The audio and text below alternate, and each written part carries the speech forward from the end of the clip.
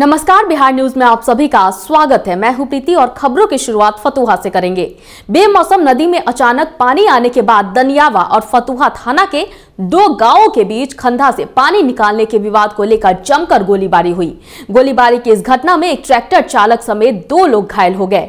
घटना की सूचना मिलते ही दनियावा, फतुहा पुलिस मौके पर पहुँच स्थिति को नियंत्रण में किया। वहीं दोनों ओर से गोलीबारी में घायल ट्रैक्टर चालक कंतलाल कुमार और लाल मुनि सिंह को पुलिस ने दनियावा पीएससी में भर्ती कराया, जहाँ से दोनों को बेहतर इलाज के लिए पटना भेज दिया गया।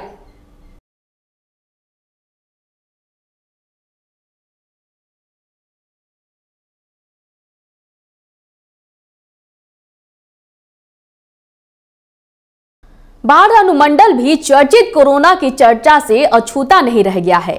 बता दें कि डहमा गाँव के कुछ लोग सऊदी अरब में वर्षों से रह रहे थे। उन्हीं लोगों में से एक व्यक्ति किसी तरह अपने गाँव पंडारक प्रखंड के डहमा पहुँच गया और अपने परिवार वालों के साथ घुल मिल कर रहने लगा।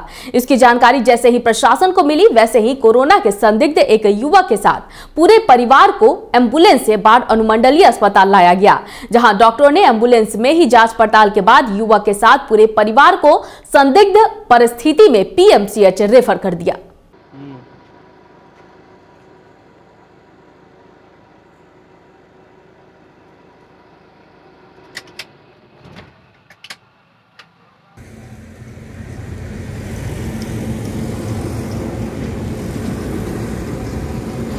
कांग्रेस नेता और एआईसीसी मेंबर मनोज कुमार सिंह ने सासाराम में बिहार सरकार पर निशाना साधते हुए कहा कि इस आपदा की घड़ी में जब पूरा देश कोरोना वायरस को लेकर चिंतित है, वहीं बिहार सरकार के स्वास्थ्य मंत्री संवेदनहीनता दिखा रहे हैं। उन्होंने बिहार के स्वास्थ्य मंत्री मंगल पांडे पर हमला बोलते हुए कहा कि आज स्वास्थ्य मंत्री को लोगों के बीच जागरूकता अभियान चलाना चाहिए, लेकिन ऐसे में वे चुनाव को लेकर पार्टी की बैठक कर रहे हैं। और पूरे विश्व में इसको लेकर के पहल हो रही है। और माननीय मुख्यमंत्री ने भी बोला कि कोई भी कार्यक्रम नहीं होगा और एक की धारा उन्होंने लगा दी कुछ जिलों में। उसके बावजूद इनके स्वास्थ्य मंत्री और मुख्यमंत्री की क्या मजबूरी है कि स्वास्थ्य मंत्री हर जगह कार्यक्रम कर रहे हैं और लाख हज़ारों की भीड़ हो रही है। इनके विधायक जो हैं करागर से वशिष्ठ, वो भी कार्यक्रम कर रहे हैं। तो ये जनता से खिलवाड़ कर रहे हैं और स्वास्थ्य मंत्री ये नहीं देख रहे कि प्रदेश में किस तरह से तैयारी की जाए, उस पर उनका ध्यान नहीं है। लेकिन चुनाव अपने कार्यक्रम को लेकर के जनता के जीवन से खेल रहे हैं। फतुहा थाना के गोविंदपुर स्थित पुनपुन नदी के किनारे दिन दहाड़े कार पर सवार एक युवक पर अज्ञात अपराधियों ने ताबातोड़ तीन राउंड फायरिंग कर फरार हो गए, जिसकी पटना जाने के क्रम में रास्ते में ही मौत हो गई। इधर घटना की सूचना पर जब पुलिस पहुँची तो मौके से तीन खोखे बरामद हुए, लेकिन घटनास्थल पर न तो खून के धब्बे मिले और न ही स्थानीय द्वारा ही कुछ बताया गया। पुलिस ने फतुहा लेकर पटना तक के कई अस्पताल में सर्च अभियान चलाया, लेकिन शव नहीं मिला। वहीं शव नहीं मिलने पर एसएसपी उपेंद्र शर्मा फतुहा थाना पहुँच घटना की जानकारी ली, जिसके बाद लगभग छह घंटे के बाद पुलिस ने अजले शव को बरामद कर लिया। बताया जा रहा है कि मृतक पुनपुन नदी के किनारे गेसिंग का गोरख धंधा चला रहा था।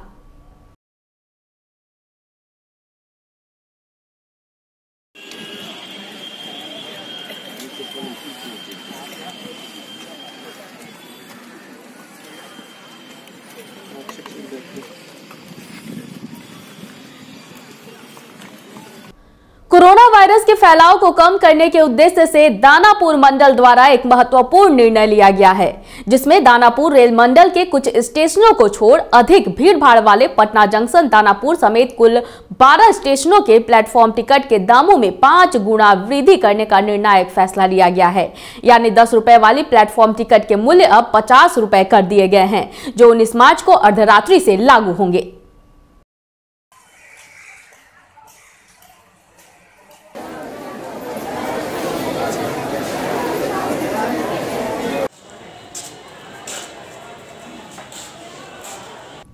सीतामढ़ी के कन्हौली थाना क्षेत्र में जून 2019 को हुए दो सगी बहनों के साथ सामूहिक दुष्कर्म मामले में सीतामढ़ी व्यवहार न्यायालय ने सात आरोपियों को आजीवन कारावास सहित डेढ़ लाख रुपए का दंड दिया है। बता दें कि मामले में सीतामढ़ी व्यवहार न्यायालय ने कड़ी टिप्पणी करते हुए कहा है कि मामला बेहद ही जघन्य है, जिसमें दोषियों का बचाव नहीं होना चाहिए।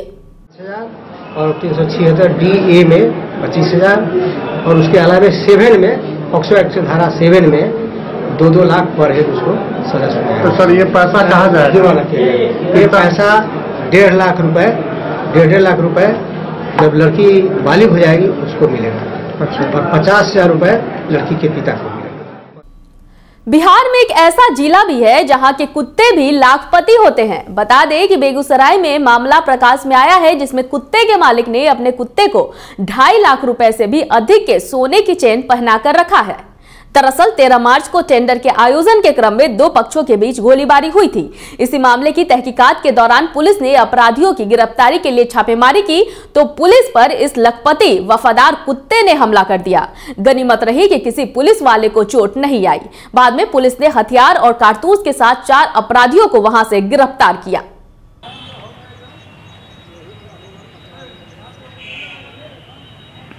रतनपुर निवासी अमित कुमार उर्फ़ बागो सिंह के घर में गुप्त सूचना मिली कि कुछ वो लोग जो है बड़े अपराध की घटना को अंजाम देने के लिए कुछ अपराध कर्मी के साथ योजना बना रहे हैं।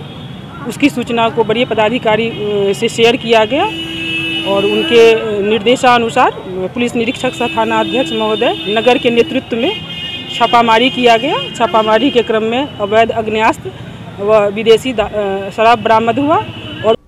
बेतिया के जिला अधिकारी कुंदन कुमार ने नेपाल सीमावर्ती इनरवा और भिखना टोरी बॉर्डर पर संचालित स्क्रीनिंग कैंप का निरीक्षण किया। जिलाधिकारी ने कहा कि नेपाल सहित दूसरे प्रदेशों से आने जाने वाले प्रत्येक व्यक्तियों की उपस्थिति रजिस्टर में दर्ज किए जाने का आदेश दिया गया है। इसके साथ ही सभी प्रकार की प्रॉपर स्क्रीनिंग भी करनी है। स्क्रीनिंग के क्रम में अगर कोई व्यक्ति कोरोना वायरस वाले लक्षण से ग्रसित दिखाई दे तो तुरंत वरीय अधिकारियों को सूचित भी करना है।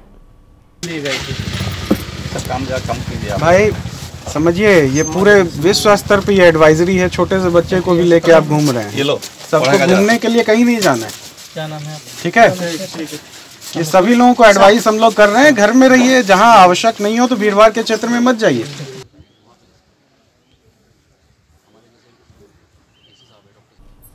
अंतर्राष्ट्रीय पर्यटन स्थल नालंदा, खंडहर व म्यूज़ियम समेत अन्य सभी दर्शनीय पर्यटक स्थल को अगले आदेश तक पुरातत्व विभाग के आदेश पर बंद कर दिया गया है। राज्य सरकार द्वारा कोरोना वायरस को लेकर 31 मार्च तक सभी सिनेमा घरों पर्यटक स्थलों, स्कूल, कॉलेज को बंद कर दिए गए थे। जिसके बाद अब पुरातत्व विभाग के द्वारा भी नालंदा, खंडहर समेत सभी दर्शनीय स्थल को भी बंद करते हुए मेन गेट पर तालाबंदी कर दी गई है।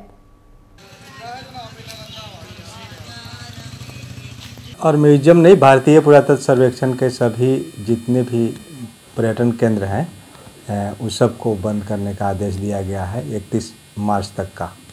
इसमें म्यूज़ियम भी बंद रहेगा और जो भी ऐतिहासिक, जो भी है केंद्रीय संरक्षित स्मारक, वो भी बंद रहेगा पर्यटकों के लिए। तहत मतलब जो आदेश दिए हैं कि पूरे बिहार जितने भी हिस्टोरिकल प्लेस है, सब कोरोना वायरस के चलते बंद करने का जो आदेश दिए हैं, हम लोग जो दुकानदार सब दुकान तो खोले हुए हैं, लेकिन एक भी कस्टमर नहीं आ रहा है। सभी को मालूम हो गया है कि नालंदा, खंडहर और म्यूज़ियम दोनों बंद हैं। गया शहर के बस स्टैंड में कूड़े कचरे से आम जनों का काफ़ी परेशानी का सामना करना पड़ रहा है। लोगों का कहना है कि शहर में लगता है कि साफ़ सफ़ाई के लिए कोई भी कर्मचारी नहीं है। बस स्टैंड की हालत ऐसी है तो शहर की क्या स्थिति होगी? एक तरफ़ देश के प्रधानमंत्री नरेंद्र मोदी स्वच्छ भारत के नारे लगाते हैं, लेकिन शेरघाटी में स्वच्छ भारत दम तोड़ते नज़र आ रहा है।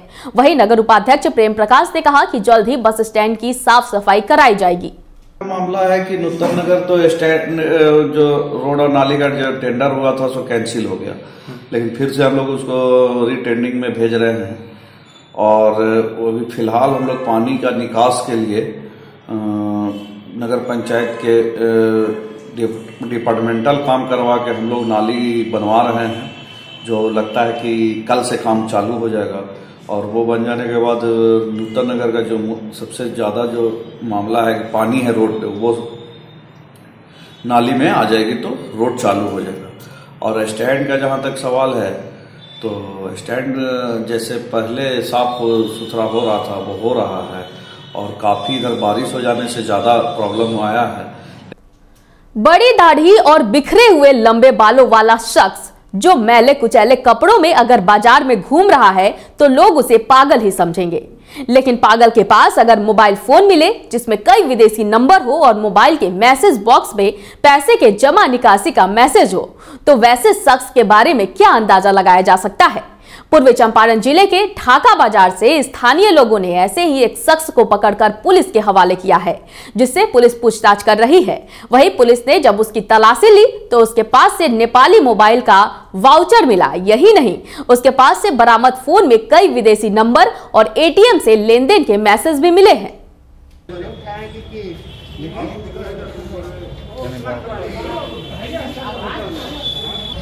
अभी अपन ढाका थाना में बारी आवे तारी रुक जा।